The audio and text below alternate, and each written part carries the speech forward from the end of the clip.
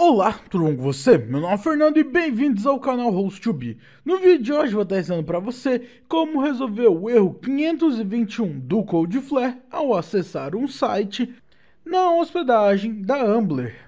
Mas antes, já deixe seu like nesse vídeo e se inscreve no canal para estar apanhando nossos tutoriais. Então, para resolver esse erro que você está tendo ao acessar o site desejado, não é muito difícil e por isso nesse vídeo eu vou lhe ensinar 5 alternativas para estar tá conseguindo fazer você acessar o site desejado. Então basta seguir as 5 alternativas e depois tentar acessar o site novamente. Então vamos para o vídeo. Primeira alternativa, verifique se o site está online ou fora do ar. Então, para verificarmos se o site está online ou não, iremos usar o site chamado foradoar.org. Então, basta acessar ele, o link já está aí na descrição, como informado no começo desse vídeo. E o que iremos fazer é simplesmente nesse site vir na barra do meio e está o nome do domínio que desejamos verificar se ele está online ou não. Então, na barra, basta você digitar domínio que você está tentando acessar. Nesse exemplo, eu vou mostrar aqui, por exemplo, o site do facebook.com. Então, vamos digitar o domínio desejado e clicar no botão verificar. Ao verificar, ele irá mostrar o resultado do teste. Como o site do Facebook ele está no ar, vai mostrar a mensagem esse site está no ar e funcionando normalmente.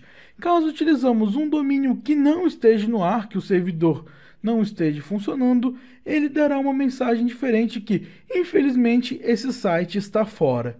Caso mostre a mensagem do site está fora e você for apenas um visitante, ou seja, você não é o dono desse site, você precisa comunicar o proprietário do site e aguardar enquanto o mesmo está sendo consertado para voltar no ar. Porém, caso você seja o proprietário desse site, você precisa entrar em contato com o suporte da sua hospedagem para verificar o motivo do servidor do seu site não estar funcionando.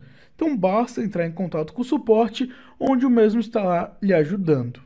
Caso o mesmo mostre que está funcionando normalmente, sabemos que esse erro que estamos tendo no nosso computador é algum problema entre a nossa conexão do computador e a hospedagem. Então precisamos seguir alguns outros passos para tentar resolver o mesmo do nosso lado. Segunda alternativa, limpe o cache do seu navegador. E para limpar o cache do navegador é realmente muito simples. Caso você utilize o Google Chrome, basta seguir os passos que eu vou lhe mostrar agora.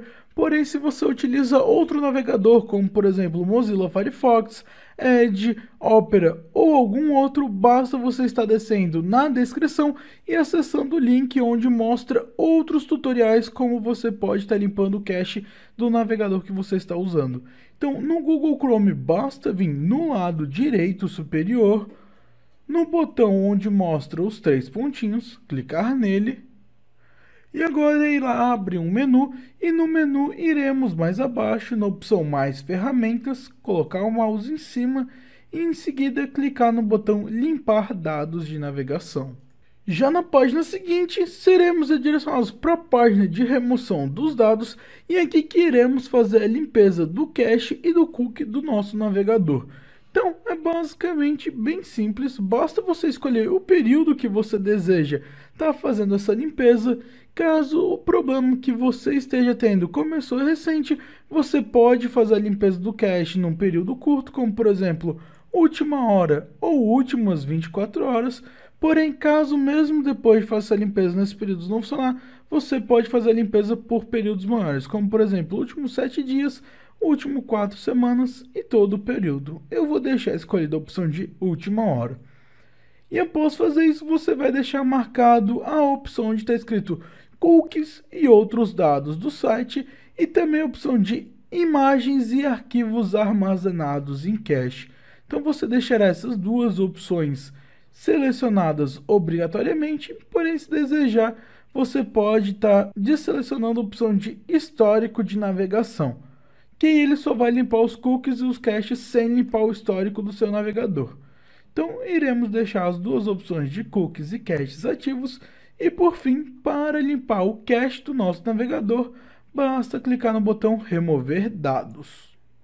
E com isso, agora o cache da última hora ou do período selecionado do seu computador vai ser limpo. Terceira alternativa, limpe o cache DNS do seu computador, conhecido como Flush DNS. Para limpar o cache de DNS do nosso computador, a primeira coisa que precisamos fazer é acessar esse post lá do hostb.net, o link também está aí na descrição, e dentro dessa postagem, se descermos um pouco, no passo 2, nós vamos ter o comando que precisamos executar no CMD do nosso computador. Então, a primeira coisa que precisamos fazer é acessar o terminal CMD, no caso, o prompt de comando. Para fazer isso, nós iremos no lado esquerdo, onde mostra o ícone do Windows do nosso computador, clicar nele e na barra de pesquisa vamos estar por CMD.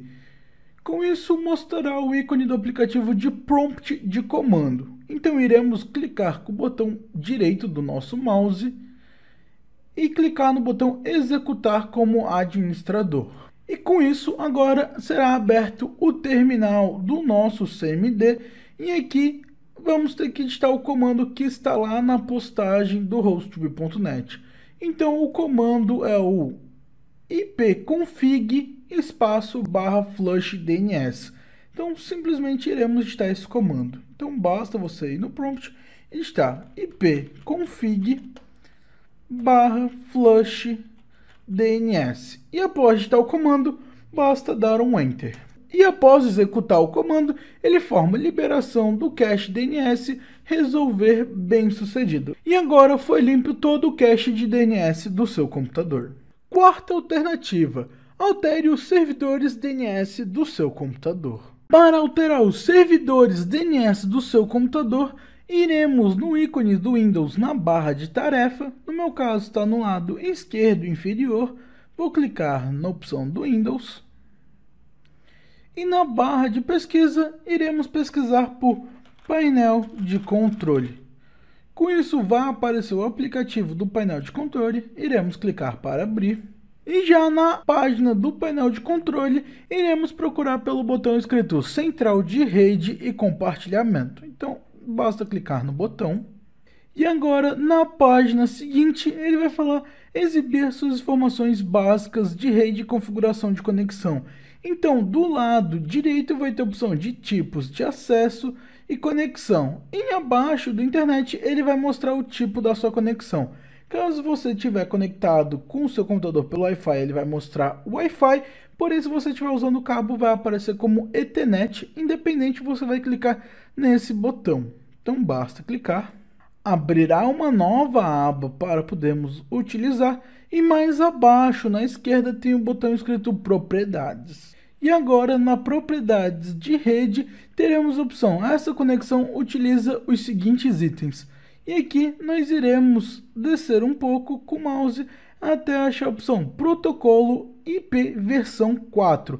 Então TCP barra IPv4. Iremos clicar em cima e em seguida clicar no botão à direita inferior propriedades. Com isso aparecerá a aba de propriedades do protocolo IP na opção geral, mais abaixo ele vai estar marcado como obter endereço dos servidores DNS automaticamente.